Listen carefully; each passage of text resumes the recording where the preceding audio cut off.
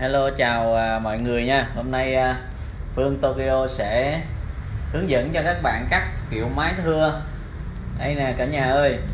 Mọi người thường thì một một tháng thì cái mái của mình à, rất là dài nha, nhanh dài chấm vào mắt nè. Thì Phương sẽ chỉ cho các bạn cắt cái mái đơn giản thôi. Đây mình à, gom hai cái phần tóc. Đây tóc mái mình gom vào giữa nha cả nhà ơi. Đây mình kéo can gom vào giữa và đưa về phía trước nè. Đây, các bạn thấy không? Và sau đó mình đưa, kéo vào cắt thôi.